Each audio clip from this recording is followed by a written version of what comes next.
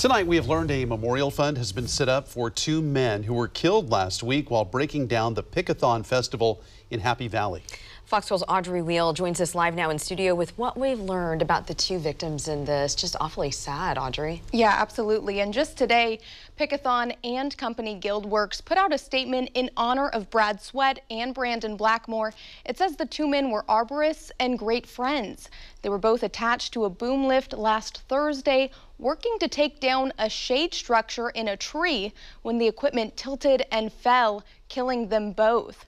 Guildworks says Brad was an independent contractor with the company and had been for seven years. He was a certified arborist and owned a company called Foster Trees. The company says he worked the Pickathon event for three years, working in a position called Tree Crew Lead. According to Guildworks, Brandon had been an employee since 2017 and had experience working with large-scale, high-visibility art installations and events. The company says the two men shared a bond of being in the trees together, and they looked, looked forward to Pickathon each year. Last Thursday, the Clackamas County Sheriff's Office says the two men went up in a boom lift to get to take down a shade installation. They were wearing safety equipment and climbed further up into the trees to get to some ropes.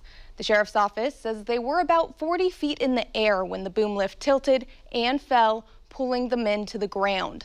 Brad and Brandon were pronounced dead at the scene. We spoke to a man who lives right across the street from Pickathon. He said the accident left a dark shadow over a wonderful event. Those are people that were supposed to go home tonight. They've got families. They had plans for this weekend. We have lives to live, and, and we, we shouldn't die, especially at work. Their deaths, while likely accidental, are being investigated by OSHA. The GoFundMe for Brad and Brandon was set up earlier today by Pickathon and Guildworks.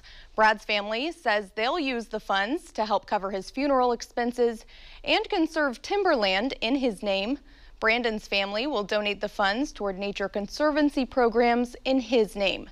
So far, it has raised more than $15,000. The funds will be split evenly between those two families, and we have linked to that on our website, kptv.com. Live in studio tonight, Audrey Wheel, Fox 12 Oregon.